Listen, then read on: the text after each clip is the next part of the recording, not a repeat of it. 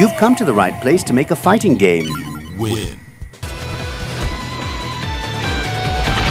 Hello friends, in this part we will learn how to create the assets needed for your game.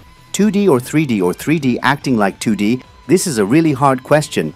In order to create your game, you need to have or create assets, that is all the 3D and 2D data that will be in the game.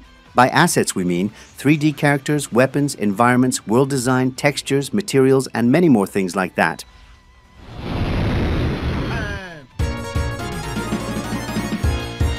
First, let's look at the fundamental problem with 2D games. In order to create 2D fighting games like Street Fighter 2 and Mortal Kombat, you need to have a lot of assets.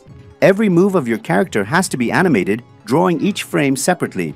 On average, an animated game consists of anywhere from 5 to 30 plus frames, depending on the character and the content.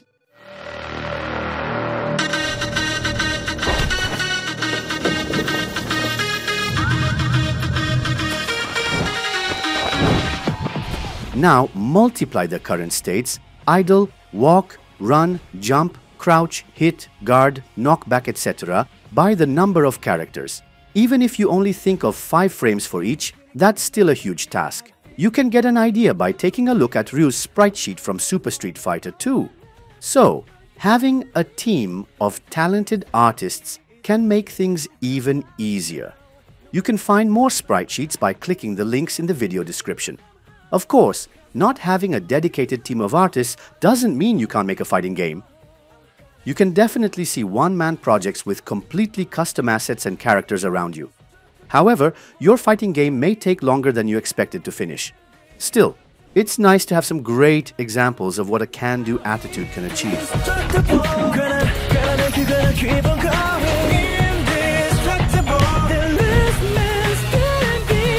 So is 3D really easier?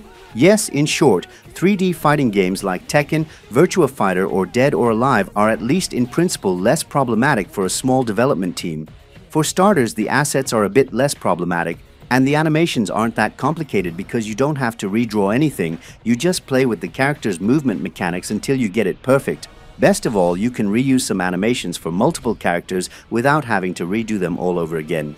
That said, we can definitely understand why Arc System Works and Capcom have switched from sprite-based fighters to 3D models in their latest fighting game releases. So, where does the problem come in with 3D fighting games? Have you ever watched Terminator?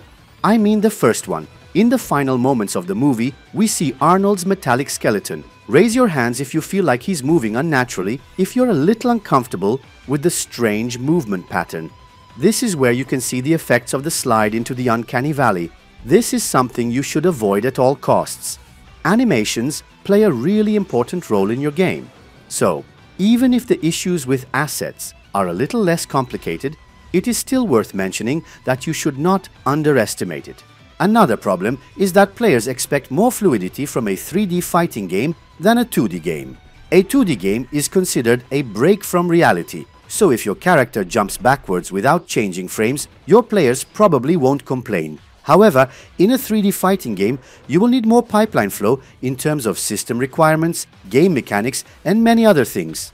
In conclusion, you have to choose between drawing every character frame or smoothly animating 3D models. I hope this video was helpful to you. See you in our next series about making a fighting game.